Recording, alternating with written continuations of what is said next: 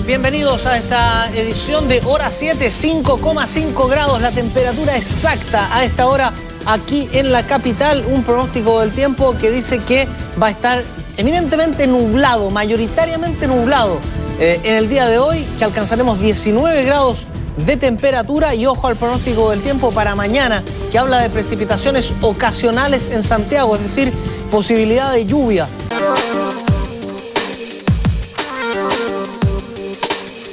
Pronóstico del tiempo para todo nuestro país. Ahí está la zona norte que eh, comienza con Arica nublada y 17 grados de temperatura máxima. Y Quique tiene 14 y 16 de extremas, virtualmente nada de diferencia. En Antofagasta nubosidad parcial con 16 grados de máxima. Mire Copiapó, 8 y 20, la mínima y la máxima respectivamente. Va a estar nublado igual que en La Serena, donde esperan 15 grados de temperatura máxima.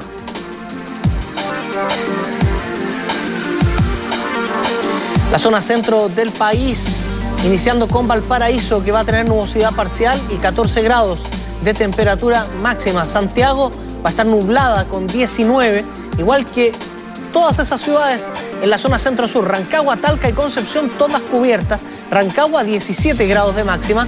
Talca no va a pasar de 12, va a ser una jornada fría en Talca. Y Concepción tiene temperaturas extremas de 5 y 14 grados.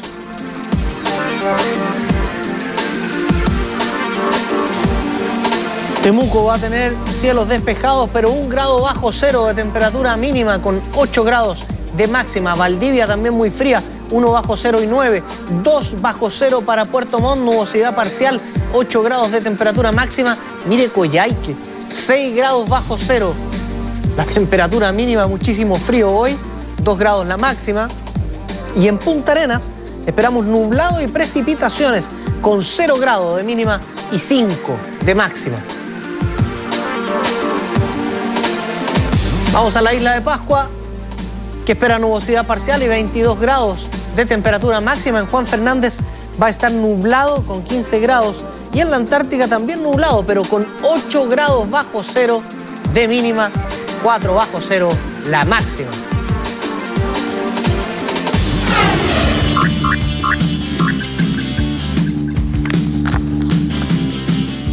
Diarios de circulación nacional que revisamos con el Mercurio y esta noticia que la va a ver usted en todas las portadas.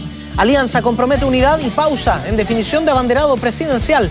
Sorpresiva decisión del líder de la UDI debido a cuadro depresivo remese al mundo político. Vamos a ver cuánto dura esa pausa porque también hay apremio por designar al candidato.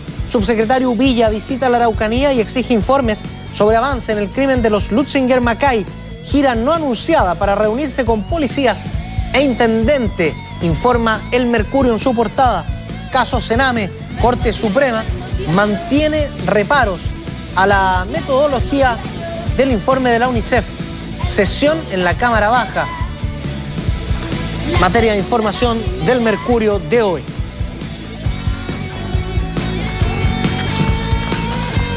Destacamos eh, de la página C8 que la alianza compromete unidad y pausa en definición del abanderado presidencial. Puede ver usted las fotos de Andrés Alamán, em, de Lawrence Gorbon y de Evelyn Matei em,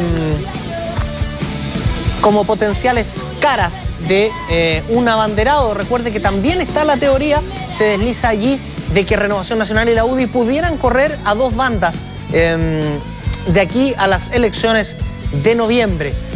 Va a ser eh, material de reunión en comité político, hoy por la tarde, de muchísimas reuniones que se sostienen desde anoche eh, en la alianza y de comentario aquí con nuestros invitados en hora 7, dentro de unos minutos más.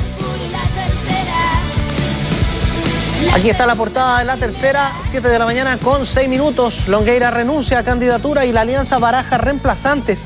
Hijos del ex senador anunciaron decisión señalando que sufre de cuadro clínico depresivo.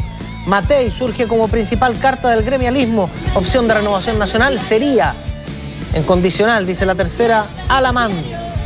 Nuestro padre ha presentado hoy su renuncia a su candidatura, una de las frases destacadas de la portada de la tercera del hijo de Pablo Longueira, Juan Pablo. Hay columnas también de Héctor Soto, de Patricio Navia, de Max Colodro y de Fernando Villegas en la edición de hoy de La Tercera.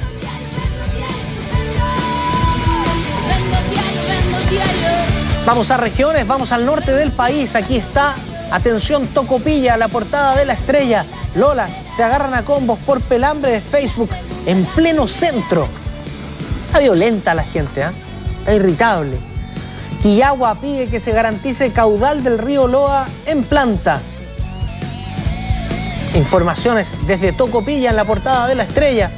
Y el puerto buscará el liderato frente a Tal Tal en regional. Está hablando del fútbol regional allá en el norte del país. Nos vamos al sur.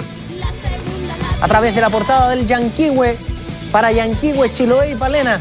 Titular central, defensora penal fallece junto a dos niños en accidente. Sucedió en la ruta entre Ensenada y Las Cascadas.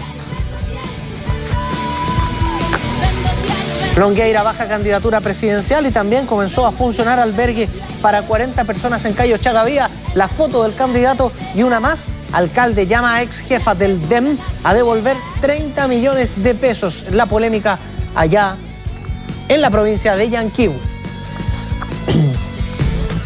Son las 7 de la mañana con 8 minutos. Vamos a avanzar, vamos a entrar con una noticia policial que es tremenda y habla de la realidad de una mujer en eh, su domicilio en San Joaquín que mató a su hijo. ¿Por qué? Por eh, diferencias que arrastraban y peleas que arrastraban hace muchísimo tiempo. El hijo tenía 34 años, eh, era una persona que tenía problemas con el alcohol, con las drogas. Aquí está la historia. Es una larga historia de conflicto familiar que terminó de la peor manera. Erna del Carmen Freire Galvez, de 62 años, decidió dar muerte a su hijo de 34 golpeándolo con un martillo en la cabeza. Estando en su domicilio se premune de un martillo que encuentra en la cocina y aprovechando de que su hijo se encontraba durmiendo en un sillón en el living, se acerca, ¿no es cierto?, y lo agrede en dos ocasiones, propinándole dos certeros golpes en la cabeza. Según los vecinos de esta familia, hace más de 15 años que se arrastran episodios de conflicto al interior de esta casa, ubicada en la comuna de San Joaquín. La adicción a las drogas y al alcohol que padecía la víctima terminaron por cansar a esta madre y a provocarle la muerte a su propio hijo. La víctima se habría quedado dormida, aparentemente en estado de ebriedad, en el sillón del living de su casa. Erna habría aprovechado para tomar un martillo y golpearlo en la cabeza. Fue ella misma quien dio aviso a carabineros. En el mismo sitio del suceso eh, se procedió a entrevistar al testigo, que es el hermano de la víctima, quien manifestó que su madre alrededor de las 3 y media de la mañana había concurrido a su domicilio, a su, perdón, a su dormitorio, que queda en la parte trasera del domicilio, en la cual le manifestó que había matado a su hermano con un fierro. Yo no le creí porque ella misma fue a mi pieza a decirme, yo no le creí, después llegó una tía diciéndome que era verdad y era verdad. Y, cuando, te confiesa lo que pasó, ¿qué, es lo que te dice ahí en ese momento? Que lo había matado. Eran 10 años ya que lo venía soportando de, sus cosas. ¿Había violencia física de parte de él hacia, hacia tu mamá? Había, ayer hubo, Ayer hubo y por eso yo me puse a pelear con él y ayer hubo porque la empujó y le pegó un combo. Había estado muy enferma, estaba con depresión porque ella había intentado varias veces quitarse la vida por lo mismo. Se tomó muchas pastillas una vez impactada, pues nunca pensé que, que ella le iba, a hacer algo porque era su, hijo querido, si no quería irse ni para el sur con la hija por estar con él. Según Carabineros de San Joaquín, el último semestre no se registran antecedentes o denuncias por violencia intrafamiliar. A pesar de ello, fueron las fuertes y constantes discusiones las que llevaron a esta mujer a matar a su hijo. Durante la tarde del miércoles, la mujer fue formalizada por el delito de parricidio y se otorgaron 120 días para la investigación. Se ha formalizado la imputada por el ilícito de parricidio, con circunstancias de alevosía como agravante eh, se han dado todos los antecedentes que tenemos de cargo respecto a su participación en los hechos y se ha solicitado la medida, eh, la medida de, prisión preventiva a su respecto. El tribunal ha accedido a dicha solicitud y además los 120 días de investigación solicitadas para las pericias que han sido encargadas. El abogado defensor asegura que la pena podría ser baja debido a la figura de autodenuncia que hay en este caso. Ella lo que hizo fue autodenunciarse lo que no significa que sea responsable del delito, porque ya vimos y está totalmente acreditado que hay un historial de violencia intrafamiliar de por lo menos que data desde hace tres años. ¿Pero qué implica el autodenunciarse? El decir que... Autodenunciarse es una figura que establece la legislación penal chilena para disminuir la pena posible en un eventual delito en el que se haya tenido responsabilidad. No, la autodenuncia la puede hacer cualquiera cuando se ve involucrado en un hecho que reviste las características de delito. Los antecedentes de agresiones databan desde hace tres años y por lo mismo la madre decidió actuar. La figura de la autodenuncia podría favorecer a la imputada a la hora de la condena. 7 de la mañana con 12 minutos y eh, en una verdadera guerra interna se ha transformado la situación que se vive en la ex posta central. Casi una semana de conflicto ya porque los eh, trabajadores de la salud están empecinados en sacar del lugar, sacar de sus funciones a un enfermero, un enfermero clínico, que el grupo de trabajadores acusa de maltrato, de hostigamiento hacia las personas que tiene a su cargo. No se descarta convocar a una paralización nacional. Se agudiza el conflicto en la exposta central. El jueves ya se cumple una semana de paralización por parte de un grupo de funcionarios del recinto asistencial agrupados en la FENAT. Las acusaciones por supuesto maltrato psicológico de parte del enfermero clínico Héctor Araya motivaron el paro de los trabajadores de la exposta. Piden que Araya sea removido de este centro hospitalario y dicen que no frenarán las movilizaciones hasta que eso ocurra. Además, algunos funcionarios del Hospital San Borja y el San Juan de Dios han brindado su apoyo a la causa y pronto se definirá si se adhieren o no al paro, exigiendo también la salida del enfermero en cuestión. Estamos esperando la resolución del Hospital San Borja y del Hospital San José. Y el Consejo Directivo Nacional se va a reunir con nosotros ahora, junto con la región metropolitana, más el Consejo Regional de la octava región. En estos momentos vamos a definir con los dirigentes, tanto metropolitanos, nacionales y regionales, cuál va a ser la condición de la movilización de aquí en adelante. Tensión en la exposta que mantiene divididos a sus funcionarios en dos bandos, porque también está el grupo de aquellos que apoyan y defienden a Héctor Araya. Aquí hay un abandono de las funciones, afortunadamente no del total de los paramédicos, porque es un, es un porcentaje menor el que ustedes ven aquí gritando, ¿verdad? Y no atendiendo a los pacientes como es su obligación. Se hizo un sumario administrativo y el enfermero acusado de maltrato fue sobreseído de la causa. Sin embargo, desde la Federación Nacional de Trabajadores de la Salud acusan irregularidades en el proceso y emplazan a la directora.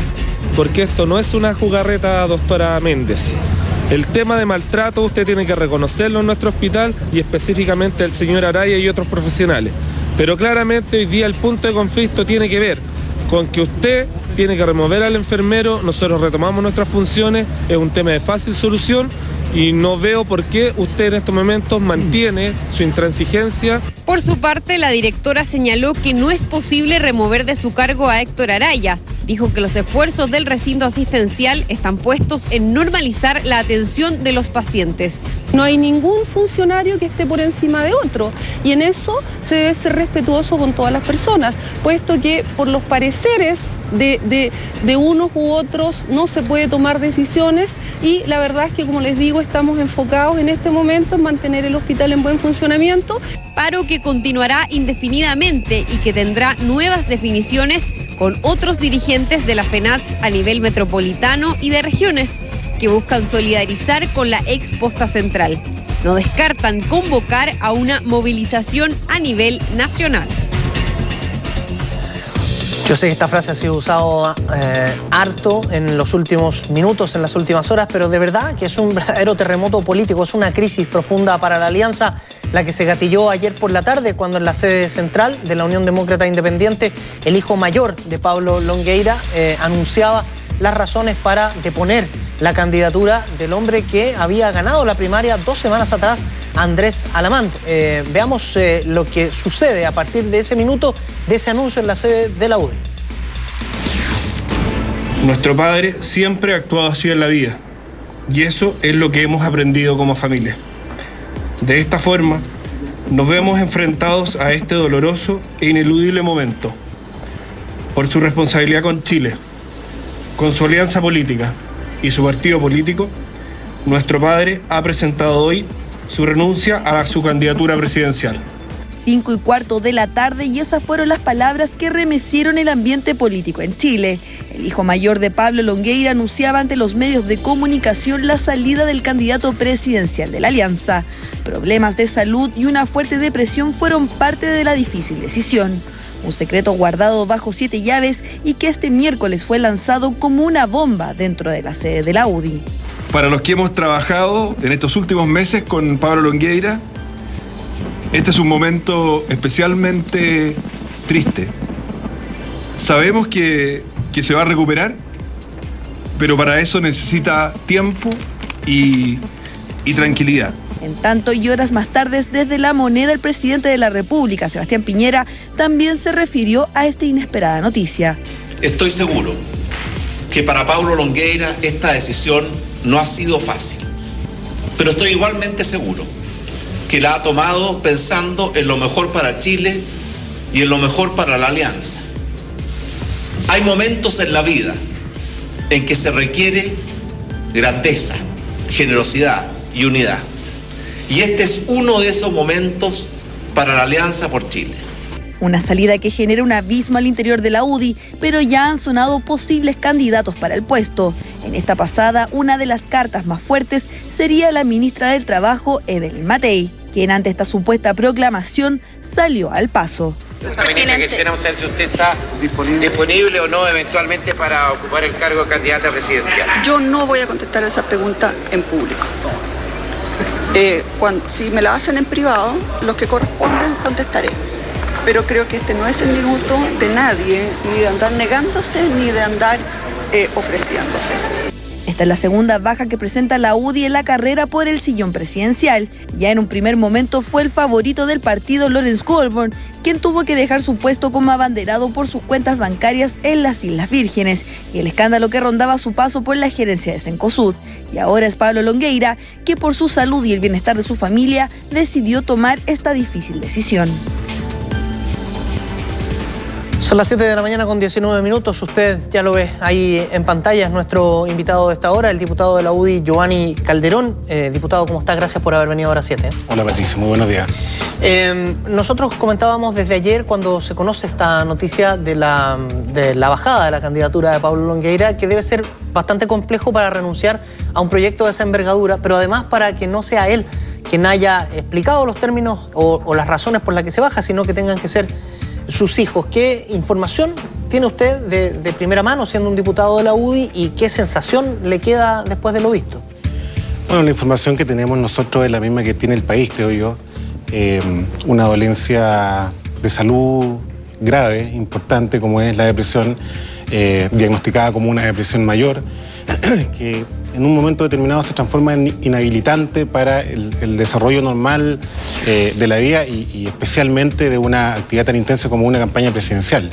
Eh, efectivamente, el hecho de que no sea Pablo Longueira el que da a conocer la noticia genera toda una serie de rumores y especulaciones, pero en definitiva, eh, si uno conversa con un psiquiatra, se va a dar cuenta que es perfectamente comprensible que así sea. O sea, eh, el estado anímico, la situación de salud, digamos, de, la persona que, padece esta enfermedad, muchas veces eh, le impide enfrentar estas situaciones que son eh, tan críticas como puede ser bajar una carrera presidencial. Eh, diputado, ¿y mm, cómo se hace desde los roles públicos? Porque lo que uno ve desde las 5 de la tarde, 6 de la tarde, cuando empiezan las reacciones frente a esta noticia, es una serie de personeros de la Alianza, eh, de otras colectividades también, pero básicamente de la Alianza, tratando de centrar la temática en eh, lo lamentable que es que Pablo Longueira tenga una enfermedad que es tan inhabilitante que lo lleve a bajar su candidatura, esa preocupación humana que tiene que existir primero por la persona de Pablo Longueira, eh, pero también desde el rol público que tienen ustedes en tratar de coordinar pronto algo porque estamos a cuatro meses de una elección presidencial. Sí, mira, a ver, yo lo primero que diría es que a mí, por una parte, me sorprende la especie de sentimiento de luto nacional que se ha producido con, con esta situación de Pablo Longueira. Eh, pero tampoco me sorprende tanto, fíjate, la reacción del mundo político, incluso de, de la oposición, porque en el fondo todos los que estamos en esta vida de la política sabemos lo duro que es. Y, hemos pasado, yo te puedo decir, eh, sin ninguna vergüenza, digamos, que yo también sufrí depresión. Yo gané mi elección parlamentaria en, eh, estando sufriendo esa enfermedad, digamos, en tratamiento. Eh, y eso te habla, digamos, de una eh, dificultad eh, para enfrentar esta actividad que es tremendamente estresante, tremendamente compleja, por parte de seres humanos comunes y corrientes. Los políticos, aunque la gente nos vea de pronto como no sé, como personas extrañas, en un mundo aparentemente muy glamoroso, la verdad es que la, vida de la política no es así, es muy difícil, es muy dura y genera este tipo de situaciones. Entonces a mí la reacción del mundo político no me sorprende tanto. Eh, ahora sí, es verdad, nosotros tenemos que tomar decisiones, pero también creo yo tenemos que, eh, por lo menos en la UDI, pasar nuestro luto. Yo creo que, de hecho, creo que hoy día, por ejemplo, no es el momento de tomar una decisión, eh, incluso que puede ser apresurada, digamos, eh, denominar a alguna persona específica, creo que tenemos que tener un debate amplio eh, en que se evalúen distintas alternativas, porque acá la ley hoy día nos permite distintas alternativas eh, y que sea realmente lo mejor para la alianza y para el país. Pero hay comité político, entiendo hoy, y es posible que ese tema, al margen de lo que está diciendo usted, pudiera, pudiera zanjarse. Tenemos comisión política hoy día, estamos convocados a, la- a las tres y media de la tarde, pero francamente yo creo, ayer por lo menos había una opinión muy mayoritaria en el sentido de hacer una reflexión muy profunda en relación con este tema. Precisamente porque ya hemos pasado por eh, situaciones complejas en los últimos meses. Entonces, en esta oportunidad creo que tenemos que tener eh, una reflexión más, más profunda, más larga. Cuando se produce la bajada de Lawrence Goldberg, faltaba dos días para la inscripción de las candidaturas a las primarias. Hoy día no tenemos una fecha que nos apremie eh, en lo inmediato. Entonces, la inscripción de agosto. La inscripción es el 19 de agosto. Eh, por lo tanto, nosotros creemos que eh, se puede dar, digamos, un tiempo en que podamos tener una reflexión un poco más, más profunda. Diputado, yo tengo un par de, de preguntas más que hacerle, que de algunas surgen de lo que usted ha dicho aquí, pero quería invitarlo a que vea con nosotros también la gente que está eh, viendo la 7 a esta hora, las reacciones que se gatillan a partir de la comunicación de la renuncia de Pablo Longueira y luego lo comentamos aquí en el estudio. ¿Le parece? Una renuncia que nadie se esperaba y que sin duda estremeció tanto a la alianza como a la misma oposición. El principal mensaje tanto de los senadores como diputados y su principal contrincante a la carrera presidencial, Michelle Bachelet, fue de apoyo y cariño a la familia. Yo siempre he tenido con Pablo Langueira una relación de respeto, de respeto mutuo y de trabajo y cooperación. Por lo tanto, me impacta en lo personal, por lo que lo he conocido, me impacta también en lo familiar, me imagino lo que está viviendo toda su familia ante una decisión así de difícil, también por lo que ha sido toda su carrera, carrera política, Eh, me imagino lo duro y difícil de la decisión. expresar mi sentimiento a la persona de Pablo Longueira por lo que le ha sucedido.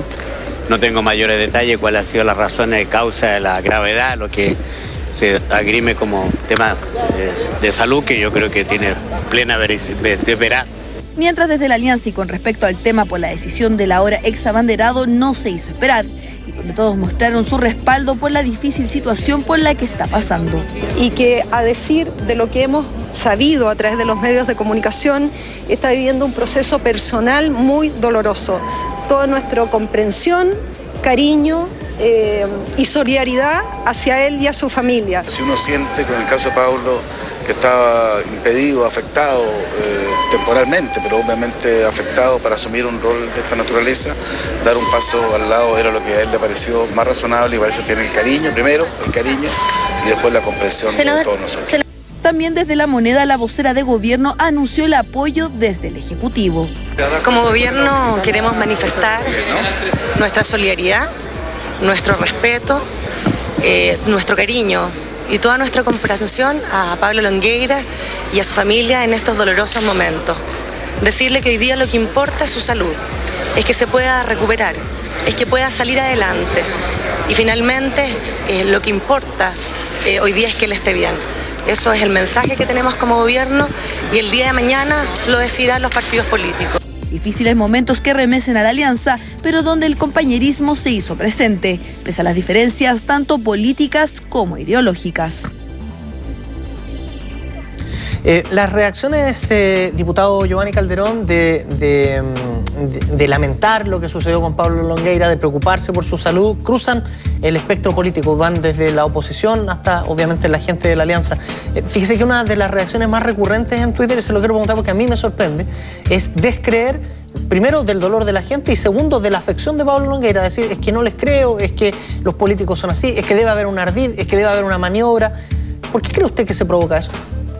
Bueno, eso es parte de la, de la situación en que vivimos hoy día todos los chilenos de desconfianza mutua y que no solamente afecta al mundo político, que por cierto, hoy día si hay una crisis en la política, una crisis de confianza, pero afecta también al vecino de la esquina, digamos. Todo el mundo desconfía de todo, en Chile eso está medido incluso por, por organismos internacionales, eh, pero yo creo que acá no hay nada de qué descreer como, como tú planteabas porque Eh, creo que una persona como Pablo Longueira, con su trayectoria, con su carácter, con su forma de ser, con la tremenda fortaleza que tiene, eh, es muy difícil eh, que abandone una, una, situación para la cual estaba tremendamente preparado, para la cual había hecho un tremendo esfuerzo, eh, por una razón que no sea la que está diciendo. O sea, aquí no, no, cabe, digamos, otra interpretación ni, ni, otra especulación porque no, no, tendría sentido. Alguien que estaba tranquilo y feliz en el Ministerio de Economía, se le pide que enfrente este desafío en dos meses, gana una elección primaria de manera sorpresiva para muchos, para nosotros no, y que de pronto, digamos, eh, haya algo más, no, yo creo que acá eh, no, no, podemos pasarnos de,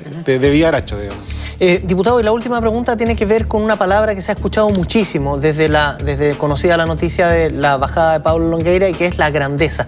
Muchas personas han llamado a tener grandeza y yo quiero preguntarle derechamente qué es en materia política la grandeza. Eh, ¿No existe en la UDI la concepción de que en la primaria ustedes se ganaron el derecho a tener un candidato en noviembre?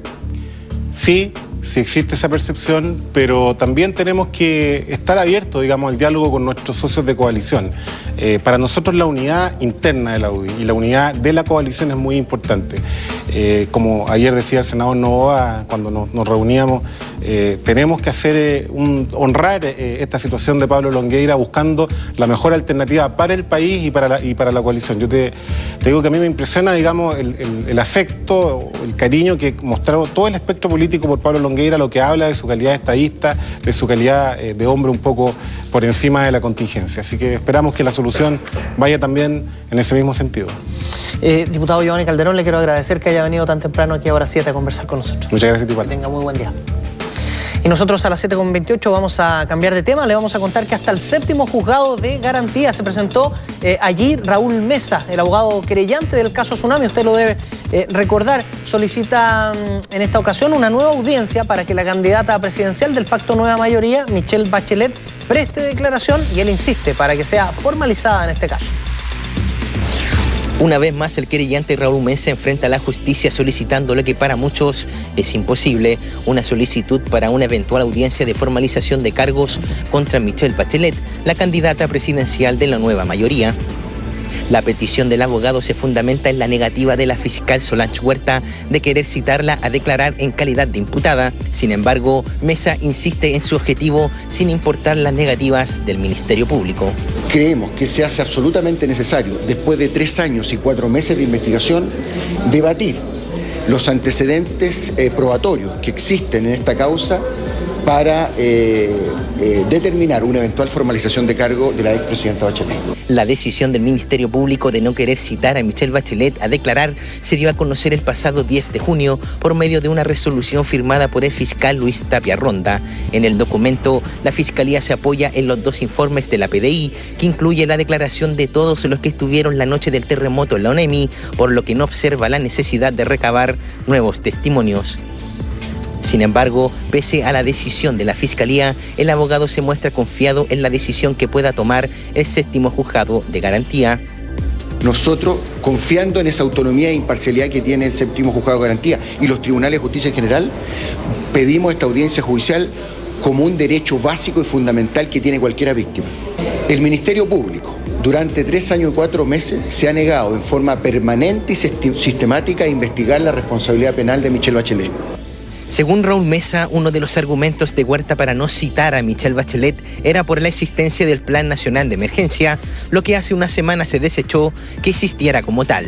Que el sustento jurídico que tenía la fiscal Huerta para no investigar la responsabilidad penal de Michelle Bachelet era que, en definitiva, el plan nacional de emergencia le impedía esa circunstancia. Que hoy día en Chile el Plan Nacional de Emergencia no tiene existencia legal.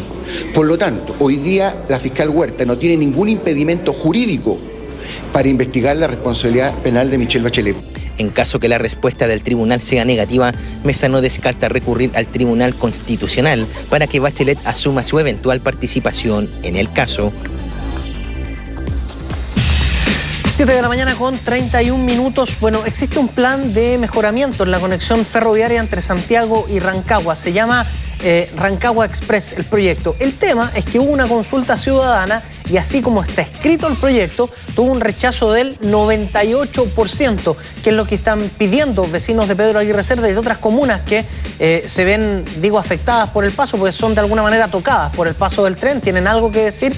Eh, piden un tren subterráneo ellos, que cambie el proyecto. De hecho, llegaron hasta la moneda con la petición. Tren subterráneo a toda costa. Es la demanda de vecinos de Pedro Aguirre Cerda, Lo Espejo y otras comunas aledañas, quienes buscan que el proyecto de la empresa F de construir un tren en la superficie sea descartado. Los vecinos que dicen sentirse afectados con el plan de construcción llegaron hasta el Palacio de la Moneda para hacer notar su descontento y pedir un cambio en lo estipulado dentro del proyecto Rancagua Express tren rápido entre Santiago y Rancagua, cuya ampliación está contemplada sobre la superficie, pero se busca que sea subterráneo. Y están pidiendo que al menos en los sectores más densos el tren pase de manera subterránea. Eso es posible hacerlo, es verdad que significa más gasto, pero ya hay un presupuesto asignado es una demanda que está instalada entre dirigentes y vecinos hace varios años, sobre todo por la cantidad de accidentes a los que se exponen por el paso del tren en medio de la ciudad. La idea es mejorar el estándar y la calidad de vida de sus habitantes, evitando espacios de división, segregación y peligro por inminentes accidentes. Es por eso que pedimos un esfuerzo a EFE y especialmente al gobierno para que definitivamente tengamos un proyecto que le dé garantías a todos los vecinos, que le dé una mejor calidad de vida y que le asegure un proyecto que vaya integrando, generando espacios públicos. EFE tiene que entender de que aquí hay vecinos de Pedro Aguirre Cerda, Los Espejos especialmente, que van a ser muy afectados por este tren sin tomar las medidas correspondientes. Se contemplan 280 millones de dólares para el proyecto. Por parte de la empresa de ferrocarriles del Estado, EFE, argumentan que el presupuesto no alcanza para construir todo de manera subterránea. La respuesta de EFE es exclusivamente de que esta propuesta que nosotros estamos pidiendo es demasiada cara. Entonces nosotros decimos, bueno, si para nosotros es cara, ¿qué pasa con otras inversiones que se hacen? Inmediatamente se gastan 920, 920 mil millones de dólares y a nosotros que nos faltan 500 millones de dólares nos dicen que no. Entonces esa es, la, indignación que tenemos, porque ni siquiera se nos ha dado una alternativa de decir, ¿sabe qué? En este momento puede que no se haga, pero aquí a dos años estamos buscando las plata, nuestros senadores, nuestros diputados se han puesto a disposición a ser colaboradores y a buscar los recursos con el ministro de Hacienda, pero se han negado absolutamente a buscar una alternativa de solución. En la consulta ciudadana al respecto, el 98% de los habitantes dijo estar en descontento con el paso de trenes por la superficie y reclaman que es una demanda legítima. Esperan que la empresa a cargo contemple cambios en beneficio de las comunas afectadas. Son las 7 de la mañana con 34 minutos. Actualizado yo el pronóstico del tiempo, 5,8 grados. La temperatura, cielos nublados y 17 grados de máxima. Aquí en Santiago le invitamos a salir de casa bien informado, poniéndole atención a la siguiente síntesis nacional. Despejando las dudas sobre una posible reunión con el ex candidato presidencial de Venezuela, Enrique Capriles, la aspirante a la moneda, Michelle Bachelet, afirmó que no se reunirá con el líder de la oposición dado a que su agenda no se lo permite. Eso sí, no descartó que la gente de su comando encargados del área internacional, encabezados por el exministro Sergio Vitar, pueda sostener una cita con él. Tras las críticas al interior del Sename, el director del organismo, Rolando Melo, pese a todo, ha mantenido su postura sobre el positivo trabajo que ha realizado todo este tiempo, negando cualquier posibilidad de salir de su cargo. Este miércoles, tras una reunión en La Moneda, Melo sostuvo que él está trabajando sobre el informe de la UNICEF para identificar a los menores que respondieron la encuesta de forma anónima. El diputado de la UDI, Sergio Bobadilla, fue sorprendido por carabineros conduciendo a exceso de velocidad cuando iba camino al Congreso Nacional en Valparaíso. El congresista iba a 129 kilómetros por hora en una zona donde la velocidad máxima permitida era solo de 80. El legislador por el Distrito 45 de la región del Bío reconoció su exceso y que cualquier justificación no corresponde y que aceptará la decisión que dictamina el tribunal.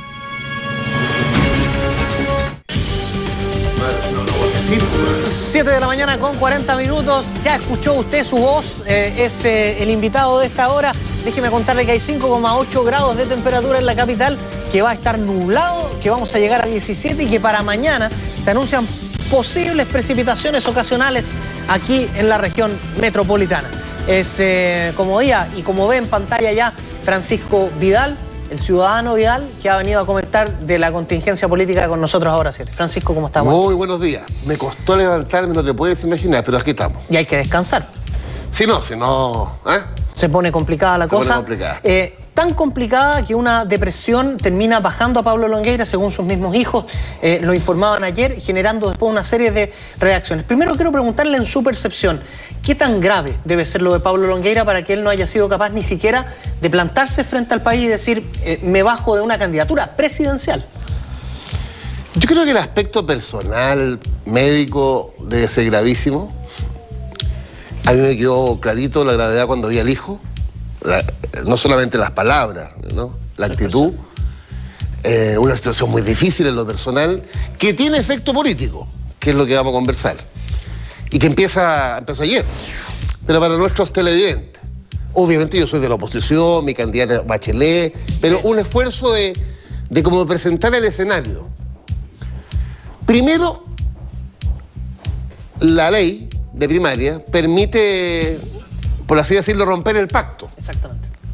Lo contempla la ley. Entonces, cada partido de los de la dos de la derecha de la alianza está en libertad de acción a partir de ayer en la tarde. Colocado eso, te, te agrego otro elemento de contexto formal. La derecha tiene menos de un mes para ponerse de acuerdo. 19 porque de agosto. Creo que el 17. O 17 de agosto. El 17 de agosto la ley establece que los candidatos deben inscribirse en el servicio electoral, tanto los presidenciales como los parlamentarios. Estamos hoy día 18 de julio. Dicho eso, ya en la política, la UDI tiene un candidato de reemplazo natural, que es Goldborn. Con todo, las Islas Vírgenes, las tarjetas Jumbo, pero el candidato natural. Y Alamán tiene, perdón, y Renovación tiene su candidato natural, que es Alamán. Entre otras cosas, sacó el 47% en la primaria. Entonces, no, no, no, es un candidato natural de renovación, es un líder natural de Me, me renovación. deja, me deja insistir ahí porque para mucha gente lo de Islas Vírgenes no es un detalle, lo del manejo en Cencosud no es un detalle al punto de que le costó bajarse de una candidatura. Entonces, le pregunto derechamente, ¿no es que la candidata natural sea Evelyn Matei, por ejemplo, y no alguien No, que, que yo tiene tengo la Evelyn Matei para un, quemados? pa- pa un tercer aspecto. Ah, ya. Entonces tenemos los dos. Ya. Una opción es que la UDI y RN lleven su propio candidato. Mm, Cero drama, porque esto ya lo vivimos en el 2005. Cuando ganó la presidenta Bachelet la primera vez, se enfrentó a dos candidatos de derecha, Sebastián Piñera y Joaquín Lavín. Te recuerdo que Bachelet sacó el 45% de los votos y la suma de Lavín y Piñera el 48%. Lo que pasa es que mi candidata en ese tiempo, Bachelet, en la segunda vuelta, recibió el apoyo de toda la izquierda extraparlamentaria, que en ese tiempo se llamaba así, y que votó por Hirsch. Y si tú sumas los votos de Bachelet primera vuelta, más Hitch y más otros restitos, explica el 53-47 de la segunda vuelta donde Bachelet le ganó a Piñera. Entonces, no es drama que la derecha en esta circunstancia repita lo del 2005. Entonces, hay analistas de ellos que dicen que sí es drama, que se dividen, que tienen menos chance, que tienen No, no, que llevar un esa experiencia demostró que la suma no basta. Porque la suma de primera vuelta del 2005 entre Piñera y Lavín no se dio, por así decirlo, en la segunda vuelta y Bachelet ganó.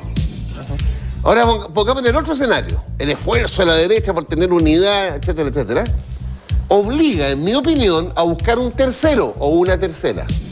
Y lo explico. Porque para Renovación Nacional, el candidato natural de la UDI, que es Goldborn, tiene costo. De Islas Vírgenes, Cencosud. Cencosud. Y para la UDI, acceder a que su principal rival de, la historia eh, sea el candidato, complica. Y eso los puede llevar a ponerse de acuerdo en un tercero o una tercera. Ahora, si tú me preguntas a mí, así a la rápida, ¿a quién podría visualizar como un tercero que no sea ni Goldberg ni Alamán?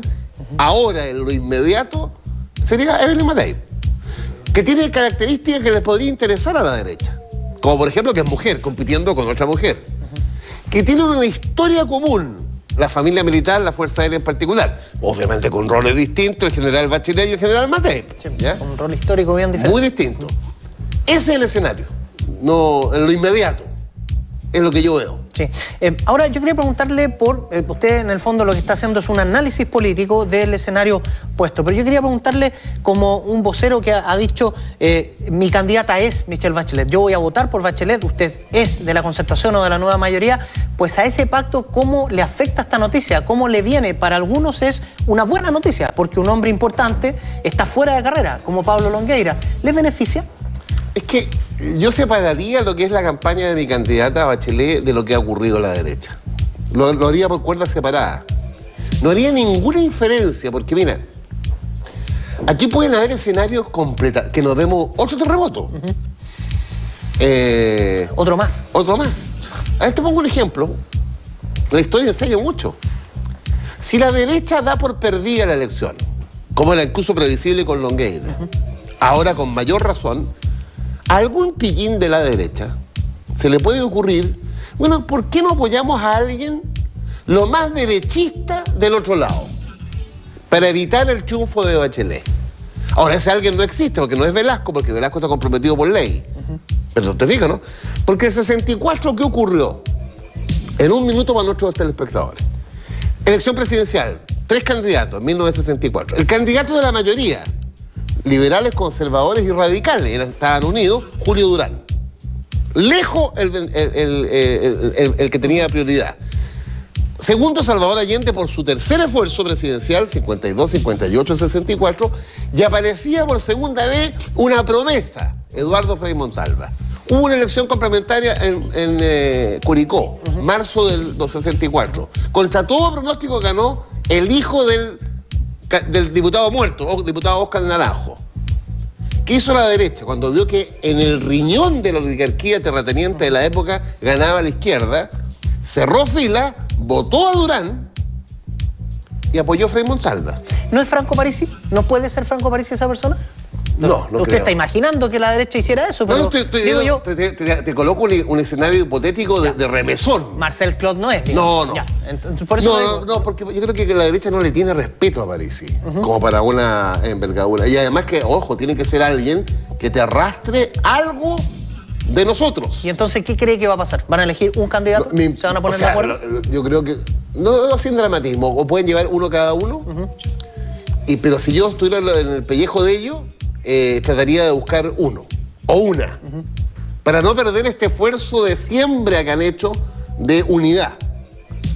Una unidad imprescindible. Te recuerdo que la derecha en la última primaria sacó el 27% de los votos. El resultado más malo desde Pinochet. Entonces, está en una emergencia. Pero nosotros, ante tu pregunta, seguir nuestro camino, ampliar la mayoría lo máximo posible y ganar con Bachelet y ganar con el Parlamento. Francisco Vidal, yo quiero agradecerle que haya venido tan temprano No, a muchas a gracias a conversar con nosotros. ¿ah? Que esté muy bien. No, gracias a usted. Y a las 7.48 nosotros vamos a tomar comunicación con la unidad móvil de hora 7 que está a cargo de Catalina Sepúlveda. Cata, ¿cómo le va? Buen día. Buenos días, Patricio. Estamos en la comuna de Las Condes para entregarle lo que ha sucedido en las últimas horas. Se trata de un asalto que ha sufrido esta familia, un violento asalto que ocurrió a eso de las 2 de la madrugada cuando un grupo de cuatro delincuentes ingresó a esta vivienda de forma muy violenta. Los habitantes se encontraban durmiendo y fue cuando entonces eh, ellos relatan que los tiraron al suelo y les, bueno, les indicaron eh, que se trataba de un asalto. Posteriormente a ello, los delincuentes amarraron a los hijos de este matrimonio que vive acá en la calle Víctor Ray comenzaron a sustraer las especies, que son eh, principalmente joyas, artículos electrónicos avaluados en eh, cerca de 15 millones de pesos. Lo más eh, grave dentro de esta situación es que no es la primera vez que les ocurre a esta familia. Hace poco más de tres meses ya habían sufrido otro asalto, habían sido víctimas de otro robo. En ese entonces eh, el monto ascendió a 60 millones de pesos. Alcanzamos eh, a conversar sobre esta situación con el dueño de casa. Pasemos a escuchar su declaración. Está, ahí sí, fuera. No. No, no, no, no puede entrar. Bueno, el, dueño de casa, quien es eh, Ricardo Gallardo, un arquitecto de 54 años, relataba que este, mm, que este asalto fue muy violento, fue más violento que la vez anterior. Eh, fue un grupo de delincuentes que, como les contaba, amarraron al resto eh, de los habitantes de esta casa, a sus hijos específicamente, y sustrajeron estos 15 millones de pesos. Carabineros está investigando además el robo de tres de sus de tres llaves de los cinco vehículos que tiene eh, esta familia. Vemos cómo a esta hora está saliendo personas que han venido a visitar a la familia que ha sido víctima de este robo ya no quieren conversar con la prensa, anunciaron que ya están cansados, por supuesto han estado despiertos desde que ocurrió esta, esta situación. Vamos a seguir pendientes de lo que ocurre acá en Las Condes, pero nos vamos a trasladar a la comuna de Quilicura con una lamentable noticia porque eh, la noche de este miércoles falleció un menor de tan solo dos años que fue atropellado por un grupo de delincuentes que también son eh, menores de edad acerca de eh, la noche de ayer, digo, un grupo de cuatro delincuentes, de tres delincuentes, digo, también en menores de edad, eh, quienes habían robado un vehículo desde Recoleta. Subieron a la vereda de la intersección de las Azucenas con las Violetas y atropellaron a este menor que, según la información que entregó Carabineros, se encontraba jugando en la vía pública junto a un primo y también a una tía. Fue entonces cuando eh, atropellaron a este menor eh, atropellaron a este menor causándole la muerte instantánea. Conversamos con eh, la fiscalía, también con familiares de esta, de esta víctima y también con testigos de este lamentable accidente. A ver, efectivamente tuvo que intervenir carabineros para evitar que el detenido tuviera algún tipo de o fuera objeto de algún tipo de agresión o lesión por parte de los propios vecinos. Dos guaguas eran primos pasaron a llevar a estos tipos niños al, primo y se subieron a la vereda y, mataron a mi nieto. Eso es lo, que sé yo, porque yo no estaba aquí. Yo quiero pedir a la justicia que así como de repente hunden a los que roban, que hunden a, este, a estos malditos que mataron a ese bebé, que no los suelten, que no los dejen en un puro mes, porque siempre hacen lo mismo, matan a la gente y después los sueltan él era un bebé. Este es un sector que sí los vehículos pasan muy, muy rápido. Incluso dicen que ellos el auto que andaban era robado. Era robado y insertaron aquí a un niño chiquitito. No es, la, no es la primera vez que atropellan a un niño aquí. Bueno, el ataque al que hacía referencia la fiscalía es porque tres, porque dos de estos tres delincuentes que son menores de edad alcanzaron a escapar, pero uno fue alcanzado por los vecinos quienes comenzaron a atacarlo eh, con insultos y también con golpes. Carabineros tuvo que intervenir para que no se transformara en eh, un ataque mayor y como señalaban eh, los testigos, no es primera vez que ocurre un hecho como ese en ese sector de la comuna de Quilicura. Patricio. Perfecto, Cata, gracias por toda esa información. Tristísima la noticia de la muerte de ese, de ese niño producto de la acción de, de delincuentes. Que esté muy bien. Nos vemos, buenos días. Nosotros eh, vamos a contarle que en Concepción a esta hora hay un grado de temperatura que el pronóstico del tiempo dice que va a estar parcial, vientos de hasta 40 kilómetros por hora en la capital de la región del Bío Bío. Pequeña pausa y seguimos haciendo hora 7 aquí en la red.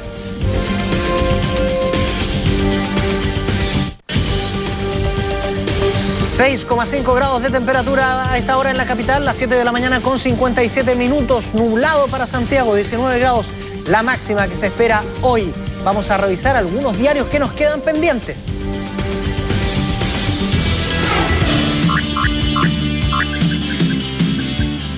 Aquí está la portada de Publimetro, la fotografía de Pablo Longueira y la palabra depresión. Hijos de Longueira anunciaron que tras diagnóstico médico, diagnóstico médico, su padre se bajó de la candidatura.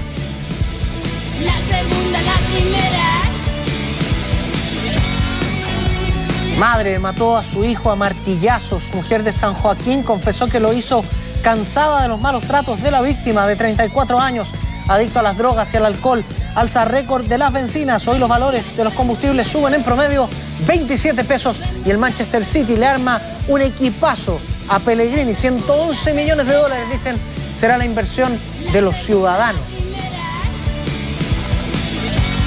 Portada de las últimas noticias, dramática dimisión de Pablo Longueira. Sus tres hijos mayores anunciaron la renuncia por depresión mayor. Gonzalo Cornejo, amigo, hizo un gran esfuerzo por seguir, pero no podía. Artículo 38, UDI y RN quedan liberados para presentar nuevos candidatos. Vamos a destacar de la página 8 de las últimas noticias, estas declaraciones de Gonzalo Cornejo, eh, cercano a Pablo Longueira, eh, quien dice, no es que aquí haya habido mala onda ni que esté bajoneado, lo que hay es una enfermedad objetiva, como para tomarle el peso a la situación de Pablo Longueira en este minuto. Em, también en la página 16, eh, destacado video, sacó chispas en las redes sociales, más de 6.000 personas lo compartieron en Facebook. Eh, aquí está el video en que esta niña manipula un arma. Quiero que lo vean y lo escuchen.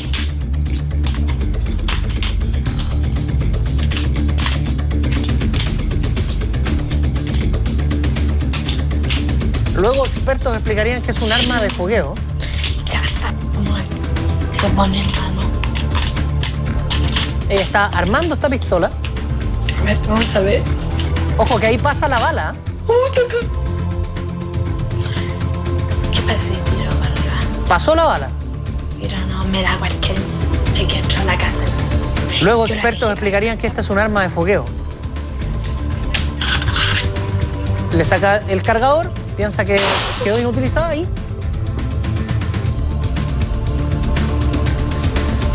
se le disparó el arma, lo que me parece que explica que es una situación bastante eh, peligrosa y que en la casa lo que hay que hacer es mantener todo ese, tipo de armas alejados, eh, especialmente de los menores. Estamos cerrando esta edición de hora 7 de esta forma. Eh, les recordamos que esperamos 19 grados en Santiago. Que tengan una excelente jornada. Lo que sigue aquí en la red, como siempre, es Mujeres Primero. Ya están Janine y Julia instaladas hoy para llevar adelante el programa. Que tengan una gran jornada. Chao.